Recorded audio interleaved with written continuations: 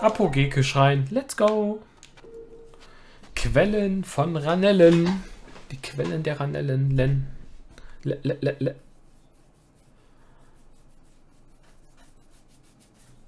So, was haben wir hier Schönes? Auf Windes schwingen. What? Okay, so hier kommt man auf jeden Fall wieder rauf.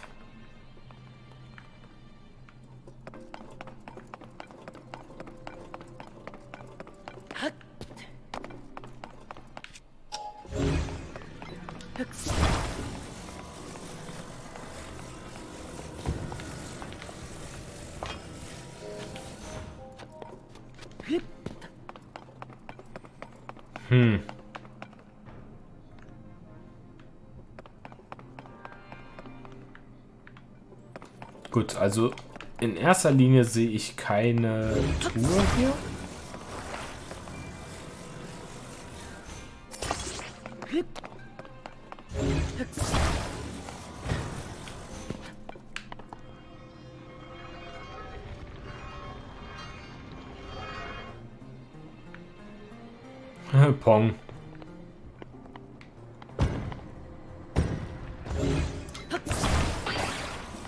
It's going. Trotzdem mal kurz checken, dass da wirklich keine ist, aber ich sehe immer noch keine. Ne, da ist kein Türchen. Denke ich zumindest so.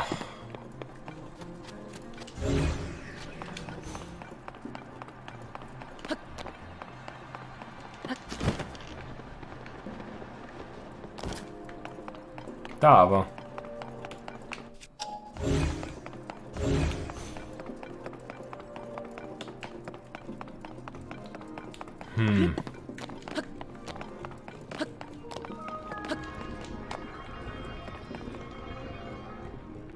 Rollen die einfach von alleine weg, WTF?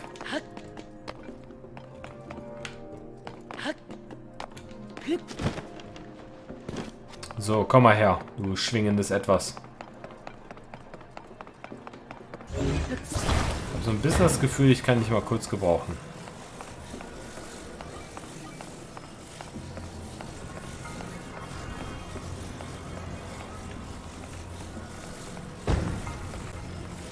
So, einmal hier hoch. Danke. So. So, fertig. Easy. Starke Sonanium-Lanze. Ja, warum nicht, ne?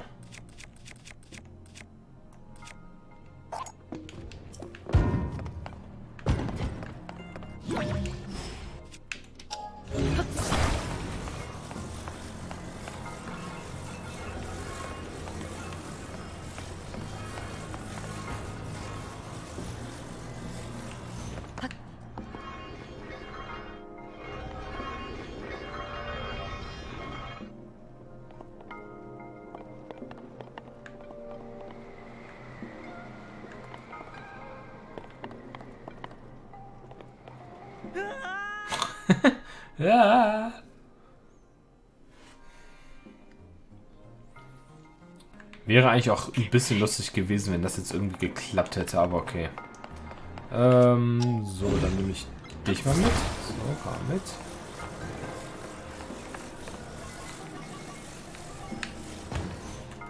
Du, komm mal her.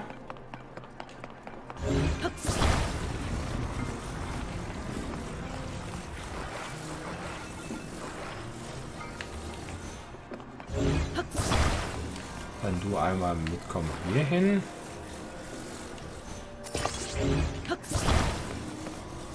So.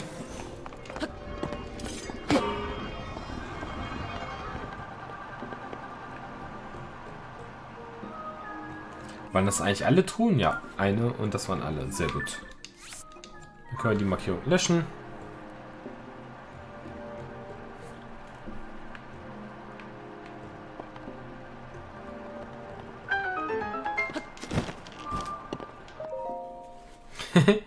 Lustig wäre es, wenn man jetzt den Flieger da über mir fliegen sehen würde, so. Da ist er.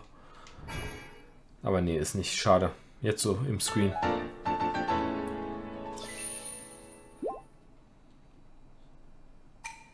Möge das segensliche Kraft schenken. Yes, wird es jetzt endlich sogar. Woo!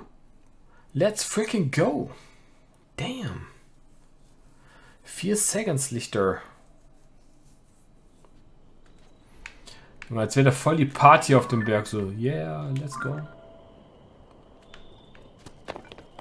No freaking way, dude. Oh Gott, ey, wo willst du denn hin?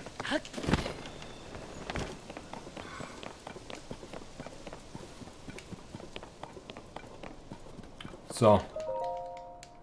Ich frage mich wirklich, wie man sich so verirren kann, dass der eine da am anderen Ende der Map ist.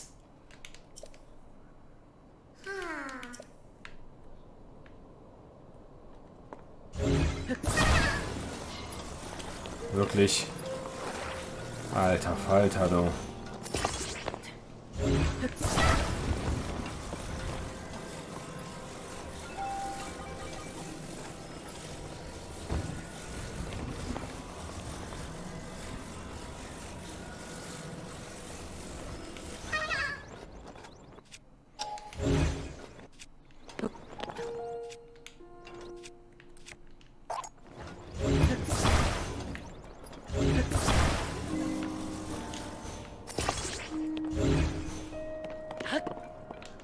Ich hoffe, du kannst losfliegen. Kannst du nicht, ne? Na gut.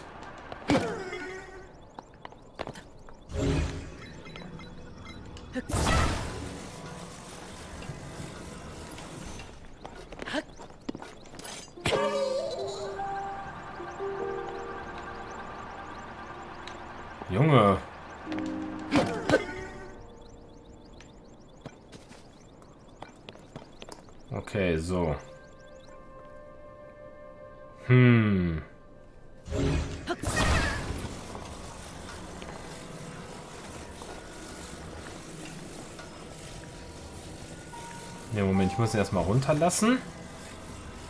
So. Jetzt lasse ich den hoch. Junge,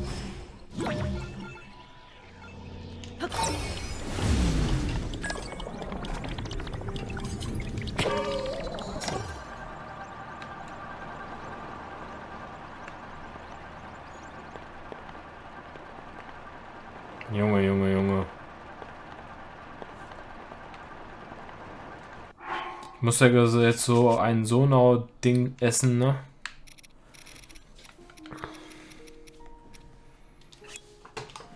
Na, Zeitweile unbegrenzt, warum nicht?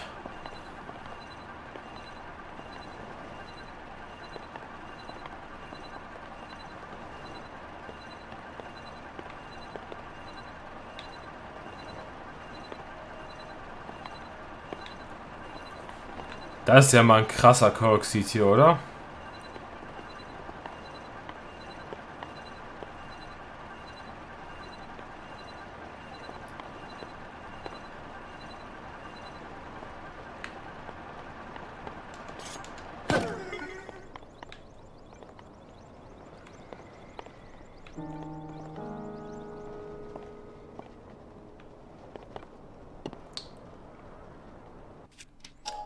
Einmal bis hierhin. Gut. Das ist irgendwie interessant, dass er eben gar nicht hier war ne? und jetzt auf einmal ist er da.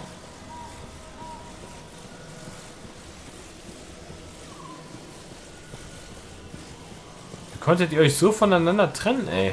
Krass.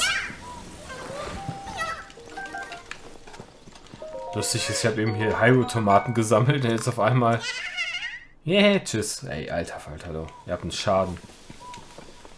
Als ob, ey.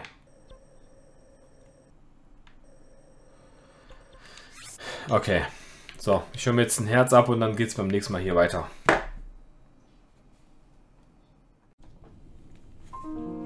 So, zuallererst, so welche Sachen fallen mir dann mal Videoschnitt immer auf. Ich habe erstmal siebte Herz geholt und ich habe ja gesagt, ich werde mir ein neues Herz, äh, neue Batterie holen. Das werde ich jetzt tun. So, weil ich habe ja über 100 von diesen Punkten gesammelt und deswegen kann ich eine neue Energie... Oh, nur eine Zelle? Ach du Schreck. Das ist äh, wenig. Damit habe ich jetzt überhaupt nicht gerechnet, aber gut. Damn. Andererseits, wenn man sofort eine komplette Batterie kriegen würde, ne? Joa. Yeah, ein kleines aus so einer Energiekristall gefertigtes Objekt erhöht die Energie, die in der Batterie gespeichert werden kann. Woohoo! Oh, cool. Dann kann man dementsprechend natürlich noch sehr viel sammeln. Bitte kehre jederzeit zurück. Das werden wir tun. Und ja, so im Nachhinein ist es jetzt irgendwie doch verständlich, dass es nicht eine direkte, komplette Batterie gibt. So, das war Nummer 1. Nummer 2. Äh, in Kakariko gibt es Quests. Ne? Ähm, ich habe da welche angefangen. Erstens diesen Typen, der aus seiner ähm, Schlafstätte abgehauen ist. Und noch irgendwas anderes, was ich angenommen habe, was ich jetzt aber nicht mehr im Kopf habe, was es war. Oh, die Batterie wird sogar da oben angezeigt im Ladescreen. Cool. Und das werde ich halt jetzt auch nochmal überprüfen, erledigen, nachholen, so gesehen. Ja. Das sind so Sachen, finde ich gut, dass mir sowas dann im Videoschnitt mal so auffällt. So.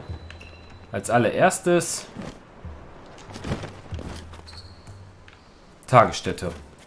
Kurz ein NPC hat der Namen. Warum so hoch? What? Buki, du hast eine... What? Warum hat der Mann eine Quest? Junge Bursche, hast du schon zu Mittag gegessen? Hast du die Kranzruinen besichtigt? Wenn ich nicht diese Höhenangst hätte, würde ich das sofort machen. Bei der schwebenden Kranzruine ist das Betreten verboten, da kann man eh nichts machen. Aber es würde mir schon reichen zu wissen, was auf den Steintafeln in den vier anderen Ruinen geschrieben steht. Wie, was? Du hast für mich einen Blick drauf geworfen? Und was stand drauf? Im Altertum gab es in Hyrule die sogenannten Weisen, die das Reich beschützten. Faszinierend. Die Weisen waren bestimmt solche unbeugsamen und weisen Personen wie unsere Prinzessin Zelda. Jedenfalls danke, dass du der Suche, äh, dass du der Sache für mich auf den Grund gegangen bist. Falls du mir auch den Inhalt der drei verbleibenden Steintafeln verraten könntest, wäre ich dir ewig dankbar. Gut. Ich habe ja zum Glück alle vier gelesen, außer die, die da umschwebt, wo Caleb mich nicht ranlässt. wo Caleb mich nicht ranlässt. Früher einmal gab es Personen, die mit Wind, Feuer, Wasser, Blitzschlag sowie mit Zeit und Licht im Bunde waren. Und mit Hilfe sogenannter Mysteriensteine konnten sie diese Kräfte sogar noch verstärken. Hochinteressant. Das müssen ja tolle Steinchen gewesen sein, die man damals hatte. So, bitteschön. So.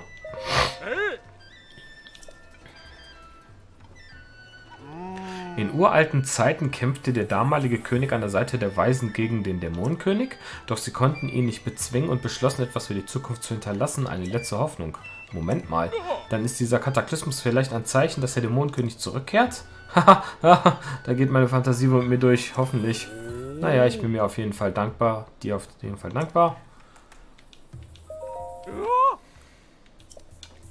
Gut.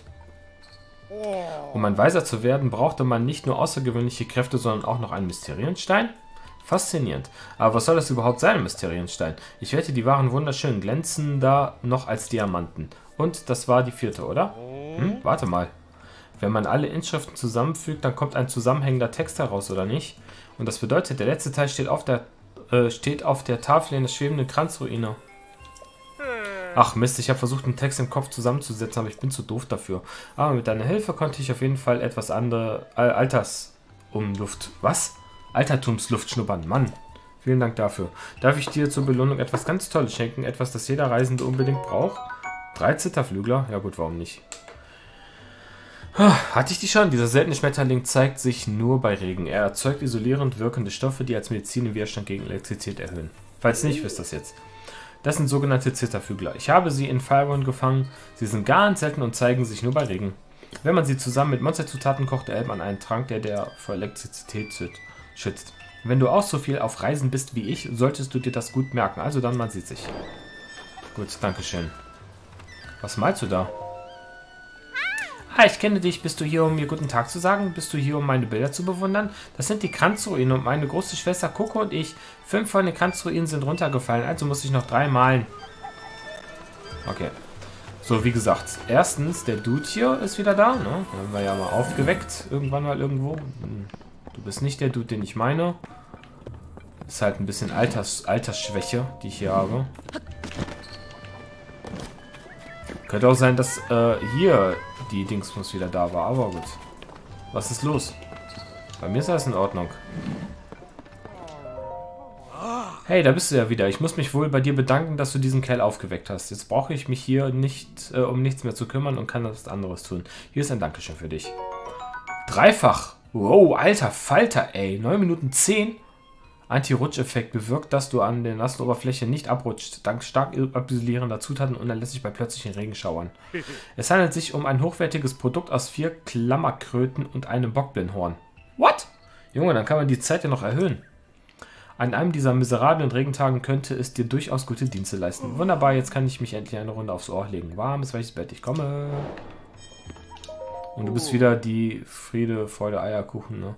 Du hast eine Kunde stimmt, du hast mich geweckt. Dank dem Duft des Trüffels werde ich auch nächstes Mal einen wunderbaren Traum haben. Vielen Dank. Jemand aus der Forschungsgruppe sprach über eine Steintafel. Dabei muss ich wohl eingeschlafen sein. Das letzte, woran ich mich erinnere, bevor ich einschlief, ist, auf anderen Steintafeln stünden noch andere Worte. Ne, die habe ich schon. Normales Bett 20, Luxurbett 30. Gut. So, dann wäre das auch erledigt. Jetzt muss ich mal kurz gucken. Was habe ich dann noch gesehen? Richtig, du hast das Monster in der Kranzruine auf der Anhöhe im Westen besiegt. Gasse und Nabis waren sich da. Dazu noch immer auf die Rückkehr der beiden wartet, solltest du ihr Bericht erstatten. Aha. Okay, das, äh, genau. Das war eine dieser Quests. Jetzt habe ich die wieder im Kopf. Ah, und die haben auch wieder Zeug da. Willkommen. So. Ich habe gehört, dass du einen großen Gefallen getan hast. Die beiden haben schon darüber gestritten, was besser ist, als sie noch Kinder waren. Und jetzt essen sie das Gemüse des anderen, haben sich umarmt und vertragen sich. Außerdem habe ich endlich wieder Ware im Laden. Es könnte nicht besser sein. Und bevor ich es vergesse, nimm bitte das hier. Na gut, immerhin eine Fettkarotte. Diese Karotte als Heilpflanze äußerst geschätzt. Enthält große Mengen an Nährstoffen. Als Kochzutat erhöht sie die Ausdauer über das Maximum, Maximum hinaus. Das ist eine Fitkarotte. Wenn du sie kochst, verleiht sie die Ausdauer. Ein erstklassiges natürliches Heilmittel. Sie wird schon seit Urzeiten sehr geschätzt, ist aber heutzutage äußerst selten geworden. Bitte nimm sie. Ich danke dir vielmals. Bitte komm jederzeit wieder vorbei. Gut, soll ich eine Butter mit? Ich nehme alle.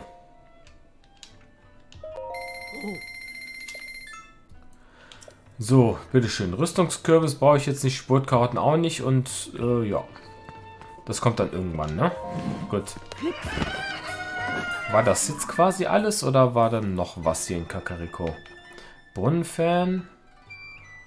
Ramdas Schatz. Operation Moldora, Hinox, Ivarok. Ja, das war anscheinend alles hier. Nachricht aus uralter Zeit. Nee. Ja, die Steintafeln. So, die einer von Monster Dingsbums Holm. Okay. Die Suche nach Zelda. Tränen des Drachen, der Tempel im Untergrund. Das könnte ich eigentlich auch mal machen, ne? Tempelähnliches Gebilde, wo die Statuen drauf blicken. Das hatte ich quasi im Kopf, aber dadurch haben wir nur in Anführungszeichen eine Quelle gefunden, als wir halt den Soras gefolgt sind, ne? Äh, ja. So, dann wäre das. Und warum lässt du mich verdammt nochmal nicht in diese blöde Ruine?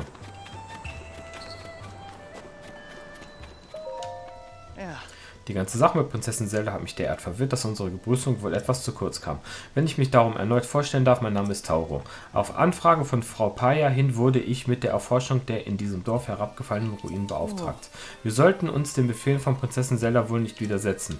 Ich werde mich also von der schwimmenden Kranzruine verabschieden und mit der Erforschung der anderen fortfahren. Mhm. Bestimmt hast du schon gehört, dass in der Nähe des Dorfes noch vier weitere Kranzruinen vom Himmel gefallen sind. Dabei sind, natürlich nicht unbeschadet, sind sie natürlich nicht ungeschadet geblieben. Aber in ihrem Inneren wurden hochinteressante Steintafeln gefunden. Ah. Ich wette, wenn wir sie weiter erforschen, werden wir schon bald die Geheimnisse der Sonor-Zivilisation lüften können. So. Und lässt mich immer noch nicht rein, ne? Prinzessin ausdrücklich Zutrittsverbot verhängt. Diesmal darf sich der Kanzlerin nähern. Oh Mann, ey. Na gut, egal. Okay, dann wäre das jetzt auch noch erledigt. Ähm, stimmt, eine Sache, die ich auch noch gesehen habe. Ich war im Dorf der Soras, habe ich da gebetet. Und da ist mir aufgefallen, dass Impa und Nabis dort sind. Ich glaube, der hieß Nabis. Vielleicht nur nachts, auf jeden Fall. Ich war nachts dort. Habe ich die gesehen und jetzt will ich mal gucken, ob die wieder da sind. Und einen anderen Dude gesehen, der eine Quest hat. Ich habe keine Ahnung, warum der auf einmal eine Quest hat. Ich weiß auch nicht, ob ich das Dorf alle nochmal angesprochen habe, nachdem ich quasi die Hauptquest erledigt habe. Aber, ja, mal gucken, ne? So, weil irgendwoher muss ich ja auch wieder die anderen Rüstungsteile bekommen können, ne?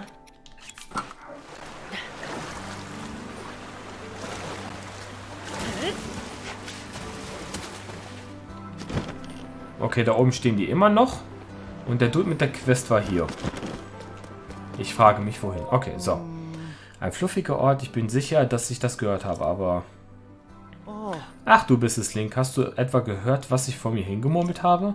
Wenn du schon zuhörst, darf ich dich um etwas bitten? Weißt du etwas über einen fluffigen Ort? Also ist es so, als meine Frau Didur zum Fischen ging, gang sie diese, sang sie dieses seltsame Lied vor sich hin. Ich fand einen fluffigen Ort, dort fange ich Fische, hüpf, hüpf. Und dann hopste meine Frau vergnügt über die Brücke östlich des Dorfes. Damals dachte ich mir nichts dabei, aber nun lässt es mir keine Ruhe mehr. Ein fluffiger Ort und hüpf, hüpf. Davon habe ich noch nie gehört.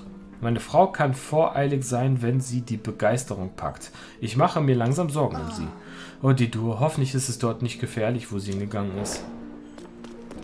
Okay, östlich des Dorfes. Das bedeutet hier, ne? Über die Brücke östlich des Dorfes antrat, sang sie ein Lied. Hüpf, fluffig und hüpf, hüpf. Ja gut, das können wir ja machen gleich so. Ich werde ihn beschützen. So, ihr habt alle Namen, ne? Ja. So, Basu kenne ich, Marot kenne ich. Oh, noch eine Quest. Junge, was habt ihr? Das ist der Kimmerladen Korallenriff. Dank seiner Majestät König Sidon und dir konnten wir unseren Bestand an Fischen wieder auffüllen. Du hast uns wirklich aus der Zirkmühle gerettet. Wenn du etwas kaufen möchtest, nimm es dir einfach vom Tisch. Oh, oder bist du aus einem anderen Grund hier? Krabschen? Oh, ich glaube, meine Gefühle für die Ausdauerkrabbe nehmen gerade ein bisschen überhand. Oh. Gut.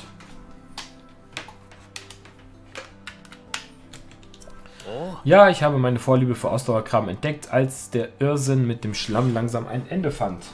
Boah, ich hasse es ja mit Kabel zu zocken. Zum Glück habe ich mehrere Controllers. Aber wenn man die erstmal abstauben muss.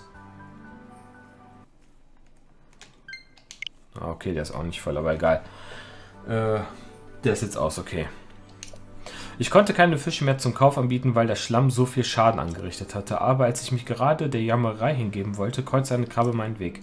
Ich war hungrig und sehr verärgert, da habe ich sie einfach gegessen mit einem Haps. Die Stacheln waren schon sehr schmerzhaft, aber als der Schmerz langsam nachließ, bemerkte ich, ach was, begrüßte mich der wunderbare Umami-Geschmack. Es schmeckte unfassbar gut. Oh, ich glaube, ich fange an zu sabbern. Ein oder zwei reichen mir nicht. Ich brauche zehn. Kann ich bitte zehn Ausdauerkrabben haben? Natürlich wird sich das für dich lohnen. Ich werde schon ganz krabbelig. Ich habe Krabben. Wirklich? Habe ich zehn Stück oder was? Willst du mir dann zehn deine Ausdauerkrabben geben? Sicher. Alter Falter. Auf jeden Fall 10 Krabben. Krabben, ja. Ich sehe sie und fühle sofort Schmerz und Umami in meinem Mund. Ich danke dir vielmals. Und nun mein Dank. Das war unser erster Krabbenhandel. Daher möchte ich extra großzügig sein. Hier für dich. Wow. Lass mich bitte wissen, wenn du noch mehr Ausdauerkrabben gesammelt hast, dann handeln wir. Ich lasse je nach Anzahl deiner Krabben etwas in deiner Tasche krabbeln, das ihrem Wert entspricht. Hehe. Okay. What? Junge! Na gut, das habe ich auf schon mal sofort geschafft. Ich grüße dich, Link. Wieder einmal hast du dem Dorf der Soras einen großen Dienst erwiesen. Seite an Seite mit unserem jungen König Silon hast du für die Rettung des Dorfes gezorgt. Ich danke dir. Um dich auch den restlichen Folgen des Kataklysmus zu stellen, brauchst du eine Waffe, auf die du dich verlassen kannst. Die Lichtschuppenlanze, mit der die Soras bereits seit uralten Zeiten kämpfen, wird dir bestimmt gute Dienste leisten. Wow! Wenn du die dafür benötigten Materialien hast, fertige ich gerne eine für dich an. Du brauchst eine Sora-Lanze sowie drei Diamanten und fünf Feuersteine. Die Sora-Lanze kann sogar schon zerfressen sein, das macht gar nichts. Hast du alle Materialien finden können? Falls ja, mache ich mich sofort an die Arbeit. Krass! Oh, äh, du hast tatsächlich alles finden können. Gut, einen kleinen Moment Geduld bitte. Wahnsinn, ey. Ich krieg die Lichtschuppenlanze wieder. In Anführungszeichen wieder. Wegen BOTW hat man die halt gehabt, ne? Gut. Ich präsentiere die Lichtschuppenlanze. What? Die einzigartige Waffe der großen Mifa. Für ihre Heilkräfte ist Mifa berühmt, aber dass sie auch eine erstklassige Lanzenkämpferin war, ist weniger bekannt. Sollte sie dir zerbrechen oder abhanden kommen, fertige ich gern ein weiteres Exemplar für dich an. Junge, Junge, Junge. Stärkung bei Nässe. Jo, was geht? Ah, ist das schön. So, äh, nach Stärke. Dann pack mal direkt dran, ne? Was will das nochmal machen? Plus wie viel? Wird nicht angezeigt. Mache ich aber. Verdoppelt die Stärke? What? Wow. Junge, wie geil ist das denn? Alter Falter. Aber warum ist die jetzt auf 102? Die ist wieder nur auf 51. Hä? Ey, ich glaub's nicht, der hat die Sora-Lanze mit Angriffskraft Plus genommen. Ich hatte zwei Stück, eine Weitwurf und eine Angriffskraft Plus und der nimmt die bessere. Ach, Spiel, ey. Mann.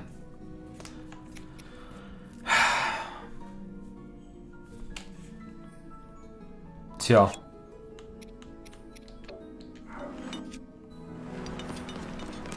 Ja gut, ähm, ich weiß nicht genau, warum mir das jetzt quasi genommen wurde, aber okay, behalten wir es einfach so bei. So. Auch noch was? Nö, okay, gut. Ja, gab hier doch mehr Quests als erwartet. Hast du noch was? Nein.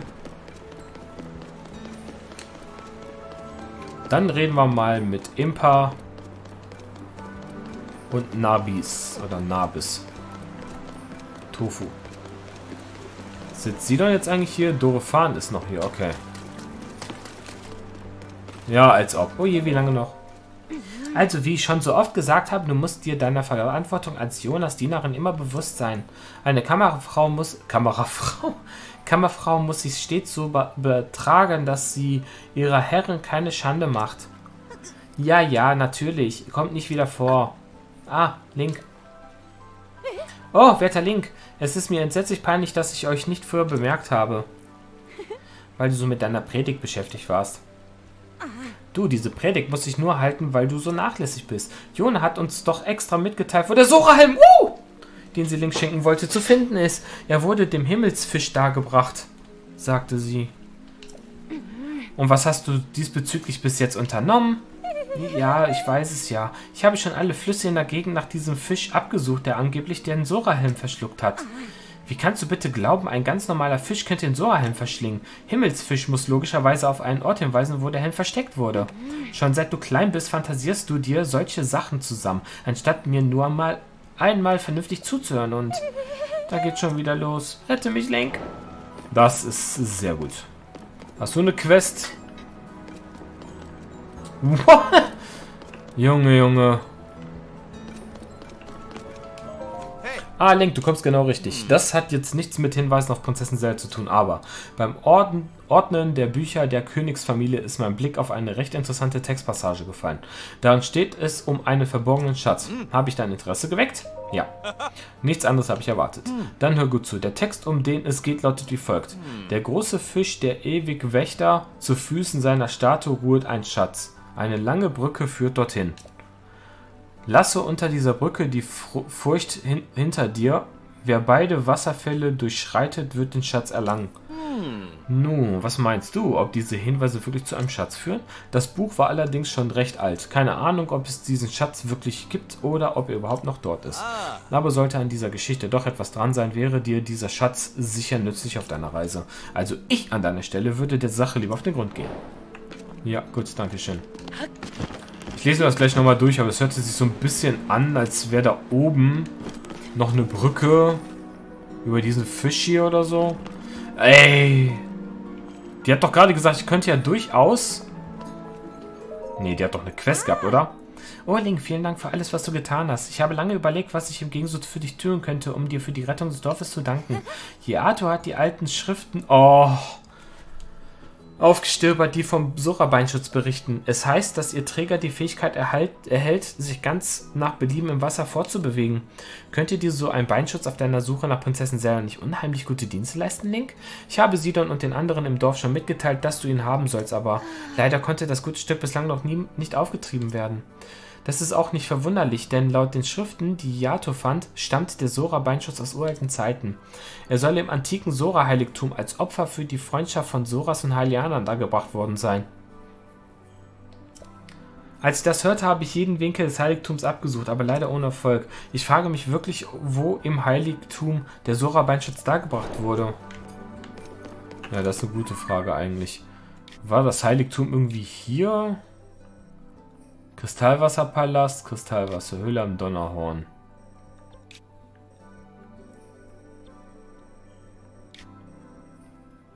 Hm. Mieferstätte, östlicher Stausee. Ja gut, wie dem auch sei. Dann quatschen wir jetzt erstmal mit dem bei mir.